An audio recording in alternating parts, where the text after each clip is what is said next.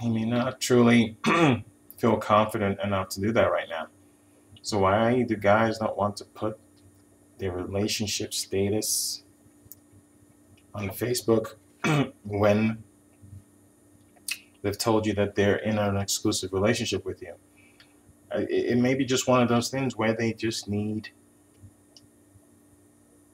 they they feel like okay, I told them we're exclusive, and they just are not quite ready to make that next step because once they do that on Facebook, as far as they're as far as they're concerned, that's essentially announcing to the world that you are the one that they're with, and they may not be quite ready to do that. Not because they don't truly see you as an exclusive girlfriend and, and their new girlfriend, but it could be because they just they're afraid. They're afraid that if they do that, perhaps any attention they may have been getting from the opposite sex, they may not get any more.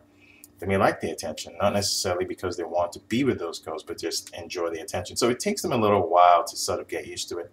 But in time, they should change it if, as long as the both of you are still together, obviously.